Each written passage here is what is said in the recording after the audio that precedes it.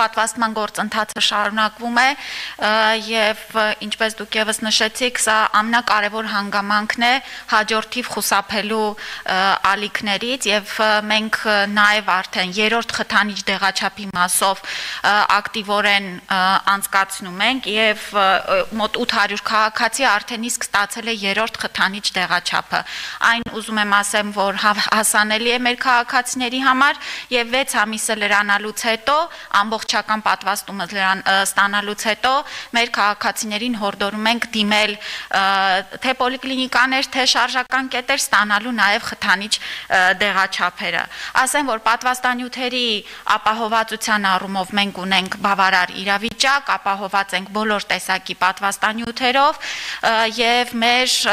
իհարկե բուժաշխատողներն էլ աշխատելու են որպիսի մինչև ամսի 31-ն էլ մենք աշխատելու ենք եւ իրականացնելու ենք պատվաստումներ։ Նշեմ, որ առաջին դեղաչափ ստացել է 943377 քաղաքացի եւ երկրորդ դեղաչափ, ինչպես նշեցիք, 711864 քաղաքացի։